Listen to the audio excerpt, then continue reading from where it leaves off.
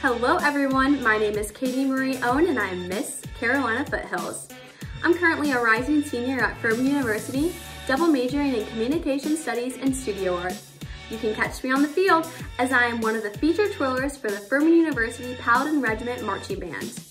In working with the Miss South Carolina program, I have become a stronger woman, not only gaining more confidence in myself, but gaining more confidence to share my story in my social impact initiative advocacy and adoration for children of disabled veterans. Becoming Miss South Carolina would allow me to enhance my communication skill set and make the community stronger by becoming a role model and a state representative. Thank you again to everyone who has supported me along my journey so far. Thank you.